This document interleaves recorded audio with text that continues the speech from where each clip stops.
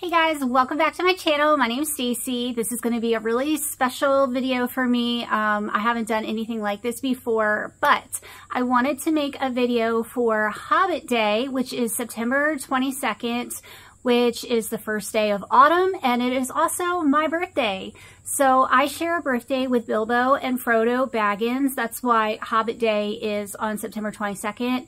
I believe it's the very first page of Lord of the Rings. It talks about the birthday party and that the birthday party is on September 22nd. I gotta say, I was so excited when I read that book for the first time to see my birthday listed in there and to know that I shared it with the Hobbits. Very exciting stuff. So I wanted to do a video um, for Hobbit Day. So I was thinking it would be fun to do a list of books that if you love The Hobbit or The Lord of the Rings, try these books. You might like these also. So the first books that I'm going to mention obviously are going to be The Lord of the Rings. That's these three. I have the whole little movie box set. I got this from Goodwill. So uh, if you love The Hobbit, you have to continue on and read all of the Lord of the Rings books.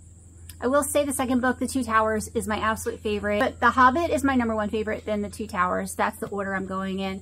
Anyway, you definitely have to read the whole series. The next one is an absolute must also. If you love fantasy, you have to read the entire Narnia series. Again, this is the movie cover. I don't know why we have the movie cover. I guess because I buy my books used and I get whatever they have. But this is the whole um, series. So there's lots of books in this. The very first book, The Magician's Nephew, that's my favorite. And then Narnia after that. What a fun world that C.S. Lewis created. I wish I had read this series when I was a kid. I think I would have loved it even more, but I read them as an adult, still loved it. They are fantastic. You have to read these. My next choice is the Grimm's Fairy Tales. The actual fairy tales are really nothing like the Walt Disney movies, the depictions of the fairy tales, they are very different. Um, they are very watered down for Disney. The original fairy tales are very dark, very creepy, and I think they give similar vibes to The Hobbits because The Hobbit scared me as a kid. Uh, I watched the movie. I think the movie came out in the late 70s.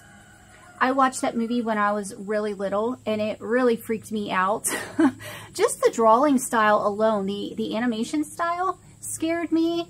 But then um, Gollum definitely freaked me out. So I think these fairy tales have the same kind of vibe as The Hobbit. Not exactly the same, but kinda. Got to take a cider break. I got some apple cider yesterday and I got it in my little copper mug. So excited. I love cider so much. Hot, iced, it doesn't matter. I've got ice in this. The next one I'm going to mention is The Princess Bride by William Goldman. I'm just going to read the back because I have a hard time describing this. Like if I were to describe the movie, I don't know where I would start with it. So I'm just going to read a little bit from the back. It says, The Princess Bride is a timeless tale that pits country against country, good against evil, love against hate. This incredible journey and artfully rendered love story is peppered with strange beasties, monstrous and gentle, memorable surprises, both terrible and sublime, and such unforgettable characters as Wesley, the handsome farm boy who risks death and much more for the woman he loves. And I just want to add that I have a stepdaughter. She's 28 and she just had a baby September 1st and she named her baby Wesley. So I'm recommending this book. and I'm suggesting the Never Ending Story. Look at this cover. Is this not glorious? This is so beautiful. The book is by Michael Ende. And this is a, a translated book. I want to say it's German originally. But let me go ahead and read the back of this too because, again, this is a very hard one to describe. It says, Bastian Balthazar Bux is shy, awkward, and certainly not heroic. His only escape is reading books. When Bastian happens upon an old book called The Never-Ending Story, he's swept into a magical world of Fantastica. So much that he finds he has actually become a character in a story. And when he realizes that this mysteriously enchanted world is in great danger, he also discovers that he has been the one chosen to save it. So, Fantastic movie. I actually haven't read the book, but I've been dying to. I put this on like my fall TBR every year and I never get to it, but I'm really interested to see uh, how similar the book and the movie are. The next one involves mythical creatures also, and that is Stardust by Neil Gaiman. I did read this book uh, years ago. I really like the book, and there is also a movie for this as well. I didn't like the movie. The book was better. But let me go ahead and read the back of the book. It says, In the tranquil fields and meadows of long ago England, there is a small hamlet that has stood on a jute of granite for 600 years. Just to the east stands a high stone wall for which the village is named. Here in the hamlet of Wall, young Tristan Thorn has lost his heart to a hauntingly beautiful Victoria Forester. And here, one crisp October eve, Tristan makes his love a promise an impetuous vow that will send him through the only breach in the wall, across the pasture, and into the most exhilarating adventure of his life. I kind of want to reread this. I don't reread books often, but since it's set in October, I kind of want to read it in October. He does fantasy really well, and I'm not the biggest fantasy reader, although I would like to change that. So yeah, I really recommend Stardust.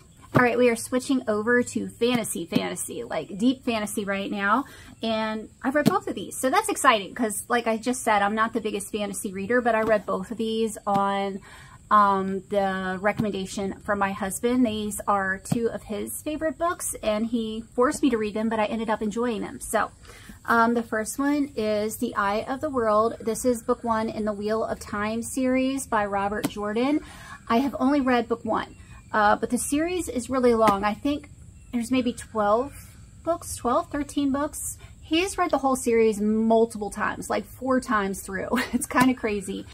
This one does not have a whole lot on the back. It has like one sentence and I read it years ago, so I don't remember all the details. But I remember it was kind of like a medieval fantasy setting and there was a village and like these creatures were coming to invade the village. That's what I really remember from this. It definitely has Middle Earth vibes with like the different realms and the different creatures. The only thing it says on the back of this is the wheel of time turns and ages come and pass. What was, what will be, and what is may yet fall under the shadow. Let, let the dragon ride again on the winds of time. So dragons too. I don't remember a dragon. I do remember bad creatures, but I don't remember a dragon. Anyway, I should probably reread this one too someday and maybe continue on with the series uh, I probably would like it. Next one is The Name of the Wind by Patrick Rothfuss. And I read this one a year or two ago, so not that long ago. This one kind of gives a little bit of Harry Potter vibes because it involves a magic school. But it is so much more than that. It is very character driven. Let me read what this one says. I have stolen princesses back from sleeping Barrow kings. I burned down the town of Trebon. I have spent the night with Felurian and left with both my sanity and my life. I was expelled from the university at a younger age than most people are allowed in. I tread past by moonlight that others fear to speak of during day. I have talked to gods, loved women, and written songs that made the minstrels weep. This was a lot of fun. I really did enjoy this, and I really need to read book two because I think I would like it just as much. Then we got a historical classic, The Once and Future King by T.H. White. Again, I really love this cover. It has unicorn.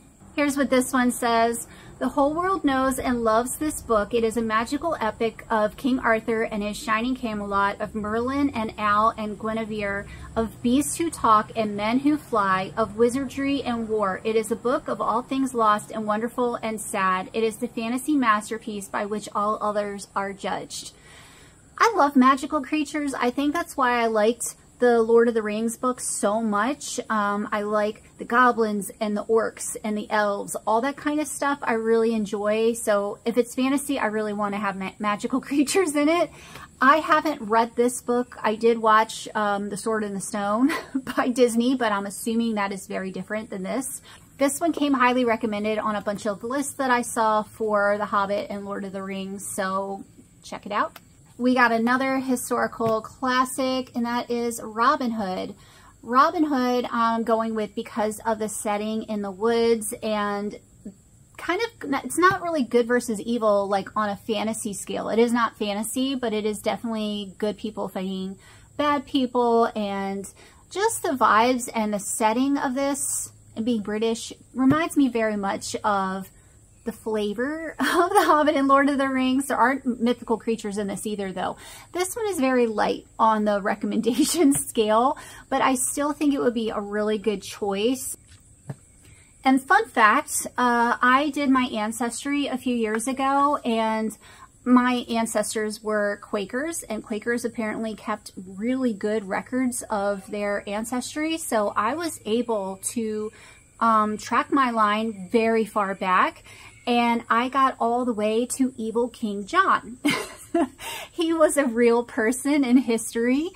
But I just love that. I thought that was hilarious when I was like working my way up the line and I got to King John and I was like, wait a minute, the King John, the evil King John, not the brother, not um, Richard the Lionhearted. I'm, I'm from evil John's line. And a book that is related to that is this series, King Raven by Stephen R. Lawhead. Stephen R. Lawhead is one of my all-time favorite authors. Absolutely love him. Um, but this is his take on Robin Hood. And, and look at this. Look at this size difference between these two books. He added a lot to the story. So this is a bind up of his complete trilogy and it is Hood, Scarlet, and Tuck. I want to say that this series has fantasy elements in it. He added fantasy to the regular Robin Hood story. I haven't read these books yet, but I am dying to get to this. This is another one that I put on my TBR like every fall because I just feel like this would be a very fall type of story. Like anything in the woods and forest reminds me of fall. So I desperately want to read this and I think that this would be a good option. Okay, and the last book that I'm going to talk about isn't really a book book, but it is a cookbook. This is Recipes from the World of Tolkien. Uh, I got this a few years ago for Christmas, and I love this book. I love cookbooks in general, but look at the artwork in here. Isn't it so pretty? I want to live there so bad. It has lots of really pretty illustrations in here. Um, this is just a really nice book to have. If you are a fan of The Hobbit or Lord of the Rings, you definitely have to add this book to your collection. Uh, some of the recipes that I have marked in here that I really want to make. Oh, this one. I was considering making this one for my birthday. It is Bilbo's 11st birthday cake. So I'm not sure if I'm going to make it this year or not, but one year I definitely want to make this for my birthday. It sounded really interesting because one of the ingredients in it is ground rice. So I'm wondering what that would be like in a birthday cake. I've never put rice in a cake before. Another one I thought would be really fun is this one. And look at this artwork in here. It is for Orc Drought. I really love beer. I love beer and mead and all that kind of stuff, especially like if I go to the Renaissance Fair, I'll get that big um, tankard full of mead and walk around slushing my tankard. So I thought this would be a lot of fun to try and it sounds really tasty. It has like um, cider and whiskey and orange juice and honey and cinnamon sticks. This sounds so perfect for fall. Maybe I'll make this for my birthday. It would be easier than baking a cake. okay guys, those are all of my recommendations. Let me know if you agree, disagree, if you have more that you would add to this list. I would love to know that. Do any of you have any plans for Hobbit Day or for the first day of fall? Are you doing anything special? I am going to a chicken swap on Saturday the 21st. So that'll be really interesting. It's like a chicken farm swap where you can go and buy farm animals. So we'll see about that. And then on Sunday, my birthday, I don't really know what I'm doing. But anyway, uh, I hope you all have a great Hobbit Day, first day of autumn, uh, all the things, a great weekend. And I will see y'all soon. Bye.